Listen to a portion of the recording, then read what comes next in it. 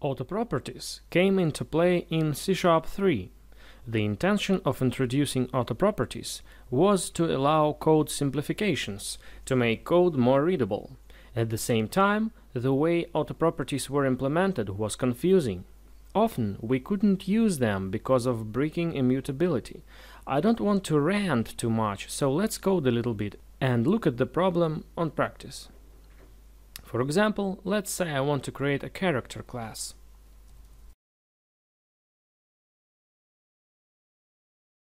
Let's say that the character has some kind of armor. And by the way, that armor should be immutable. Once set, it should not be changed. Firstly, I'll implement it as an auto property.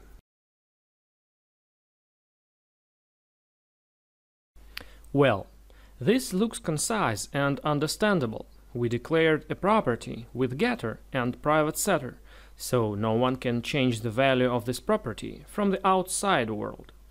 But there's a problem. Enemies do not walk only outside of the class. We as developers of this particular class are also enemies. We can easily roll out a method which mutates the value of the property.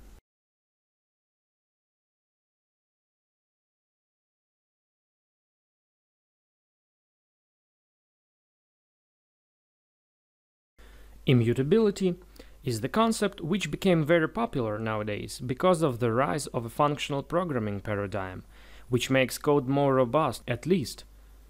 This course is not about different programming concepts, so let's continue to discuss C-Sharp 6. So, in order to make this code immutable, we could declare a read-only field before C-Sharp 6. Let's do it.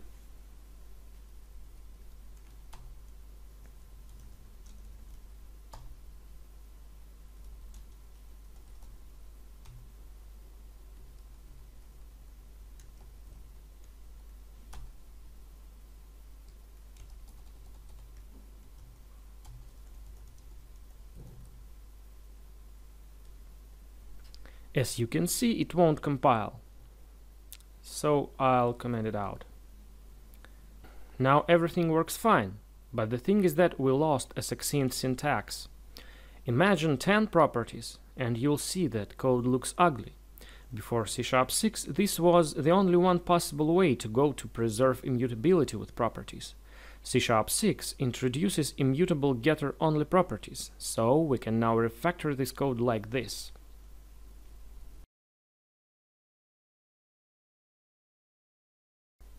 Wow, cool, looks much better. And by the way, we need to remove our bad spell method. It also won't compile. This kind of property can be assigned only in a constructor or right here with the assignment operator.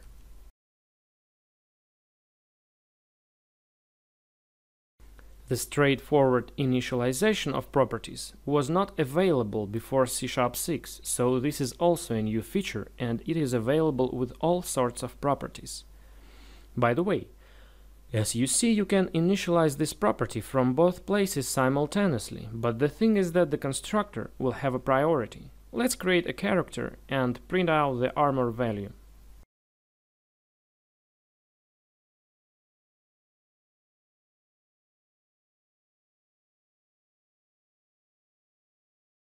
I'll run the application. As you can see, the armor equals 90, so the constructor has a priority. Okay, let's have a look at another neat feature called expression-bodied members. To learn what name of is, let's start with an example right away. Let's look at the most often faced case when we need the name of operator. In WPF, in order to notify third parties about changes, we need to implement the iNotify property changed interface. Let's implement it on our character class.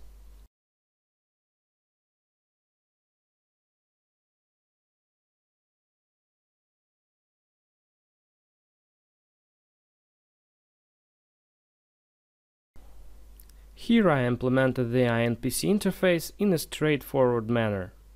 Now I also want to roll out a new name property.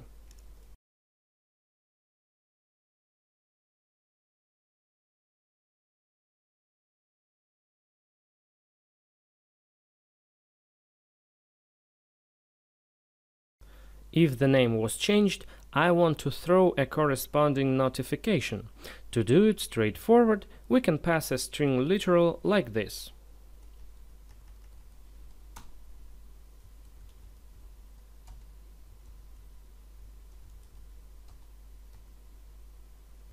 Such strings in the program are always bad. There is an implicit dependency between the string literal and the name of the property. What will happen if we rename the property? Yes, we will pass an incorrect string after that if we forget to rename it as well. There were several ways to avoid passing incorrect strings, even before C Sharp 6 actually. I don't want to dig these approaches, just Google for caller member name attribute and implementation of INPC with LINQ expressions. You'll find what I'm talking about. C Sharp 6 provides a special keyword name of. Let's use it.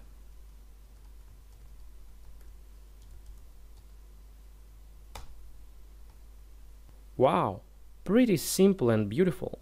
And by the way, with this operator, we avoid any performance penalties related to approaches with caller member name and LINQ expressions. So this is cool. Remember that name of just takes the last part of a fully qualified name, so it doesn't include a namespace and the name of a class.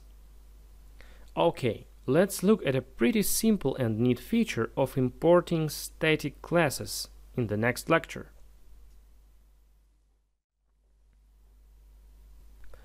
In order to demonstrate a more convincing example, let's add a weapon class which has a name property.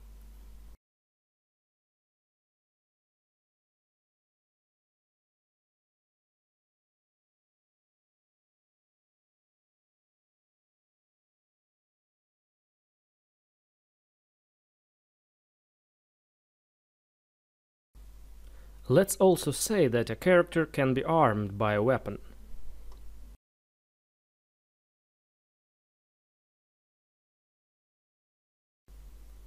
Now let's implement a static method outside of uh, the character class, which checks if a character is armed by knife.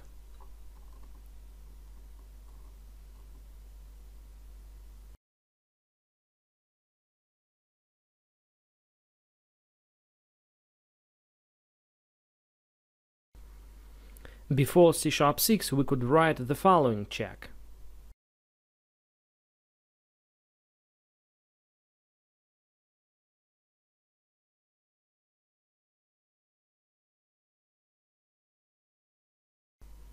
It looks very excessive and ugly. In C Sharp 6 we can simplify this drastically.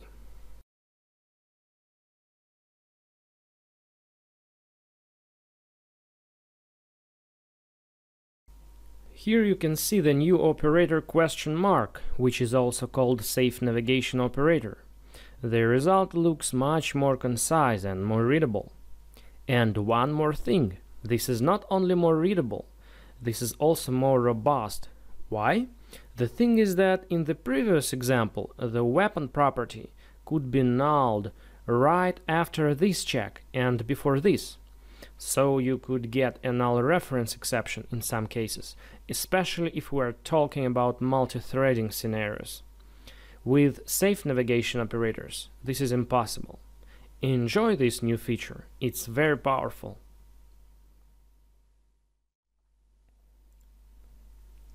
C Sharp 7 introduces a new feature called out variables. We have out parameters since the first version of C Sharp, out variables is a syntactic sugar which makes all the things a little bit simpler. Let's look at an example. Let me introduce a new class point with two coordinates x and y.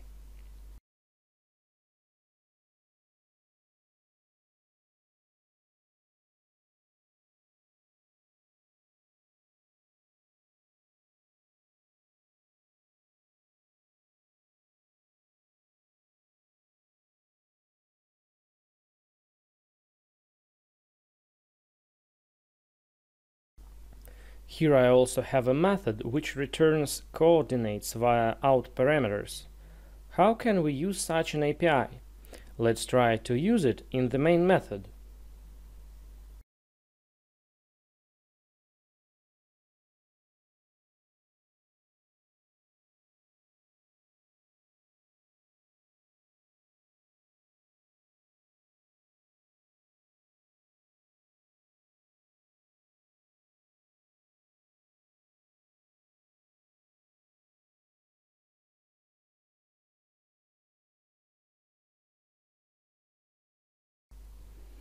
With C Sharp 7, we can just remove the declaration of variables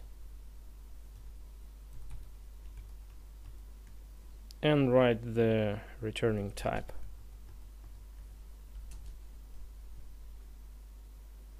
C Sharp compiler will emit necessary code in compile time. This feature is also neat when we use try methods like try-parse this is the most common case of using out parameters, so out variables are very handy in such cases.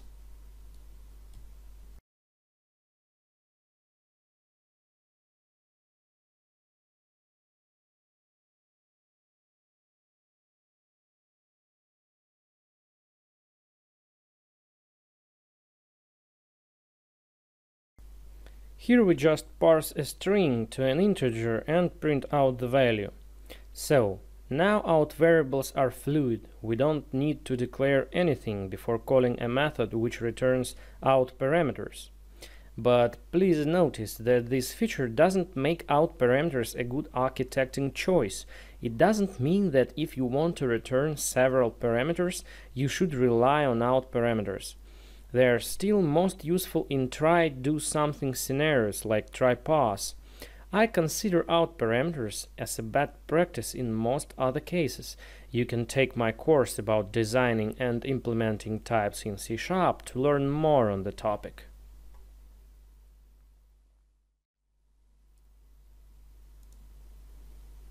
We had tuples at our disposal before C Sharp 7. They were introduced in .NET 4.0 and actually they were not related to C Sharp as a language itself. Old tuples were implemented as classes what reduced their applicability in high-performance scenarios. New tuples are implemented in a special type named value tuple which can be found in the NuGet package called system.valuetuple. Value tuple is a structure and C Sharp 7 implements a special treatment of this type.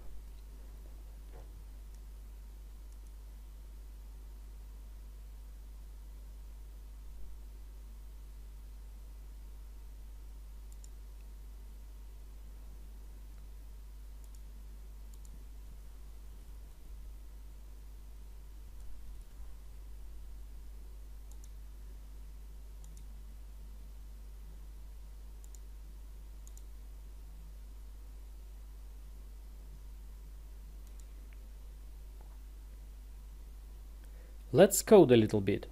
For example, I want to return two different error codes from a method. How could we achieve that before C Sharp 7?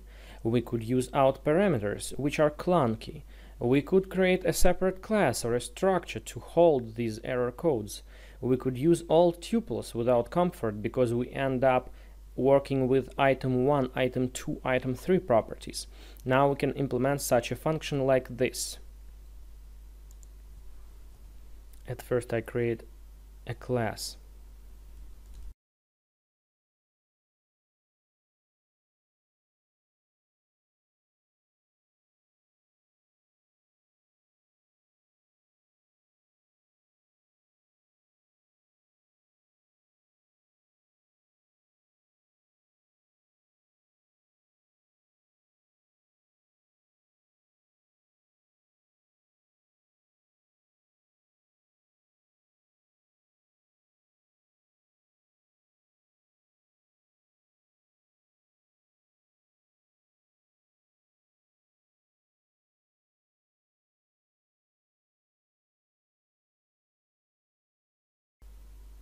I launch a rocket and then check the state of main and subsystems and return them as a value tuple.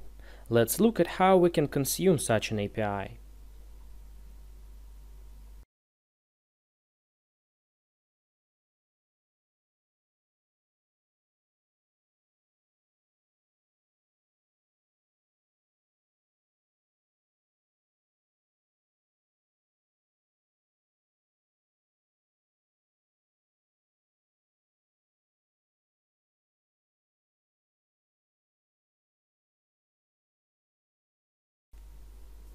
Here you can see that we can use var, so it looks like we get an anonymous type. Then we can use well-named parameters, very handy. If you remove names in the function declaration, then instead of using well-named returned parameters, you'll use item 1, item 2, and so on, names which will be automatically assigned to return values. I'll demonstrate it quickly.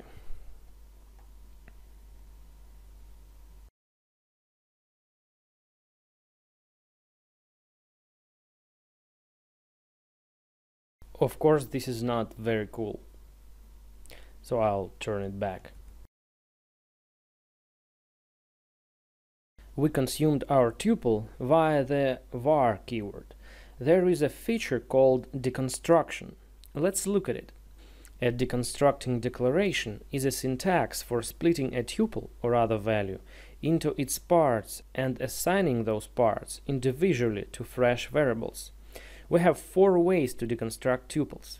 We can explicitly declare both type and name of variables, like this.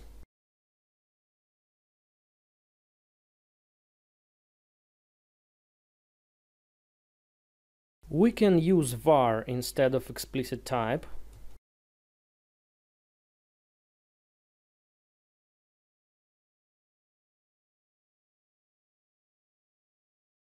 We even can use var outside of round brackets.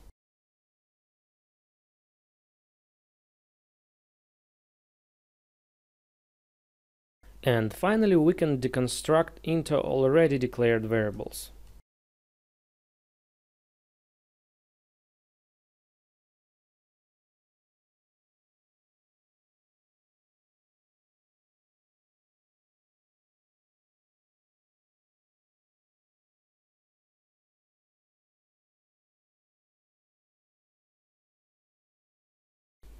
Deconstruction is not just for tuples. Any type can be deconstructed, as long as it has a instance or extension deconstructor method of the following form. The out parameters constitute the values that result from the deconstruction. It will be a common pattern to have constructors and deconstructors uh, be symmetric in this way.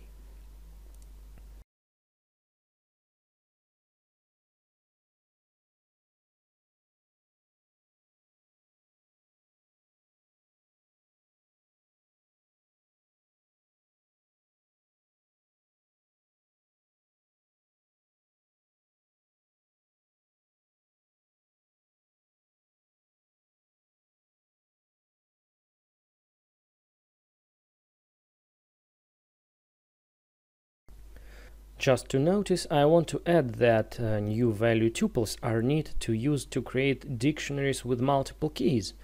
Here you can see an example on the screen. Value tuples implement the equality of structures, so they will be treated as equal if their corresponding fields are equal.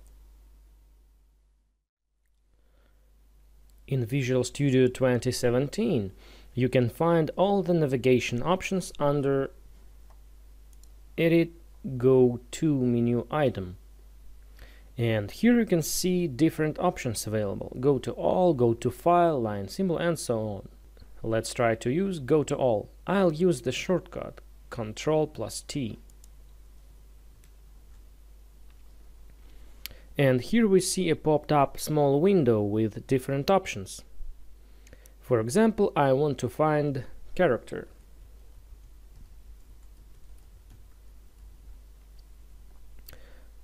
Visual Studio finds all the possible targets I might be interested in.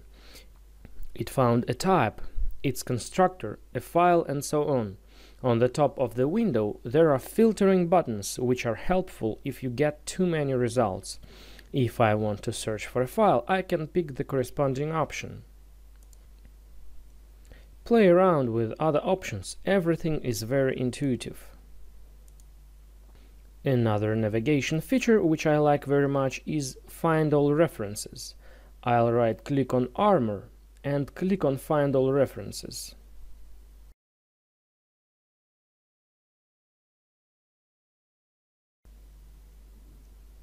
A window popped up with a completely new experience. Here you can see that the property is used in three places when you hover over these lines. Visual Studio shows a small preview window which shows a chunk of corresponding code. Very cool.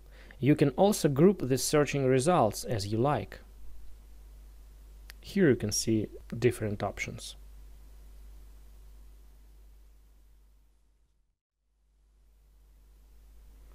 A simple yet very cool feature which will save a great amount of time is called Run to Click and it allows you to debug your code without setting breakpoint each time you need one. Let's try this feature. I'll set a breakpoint here at the beginning of the main method and run the application. Debugger hit the breakpoint and now I want to run here. I just move my mouse here and we see a green small button. Click on it and debugger is now here and we also see how much time it took to go here from the initial point and we can click on this metric and open the diagnostic tool so with all the details. This is a very cool feature I love it and I'm sure I'll use it on the everyday basis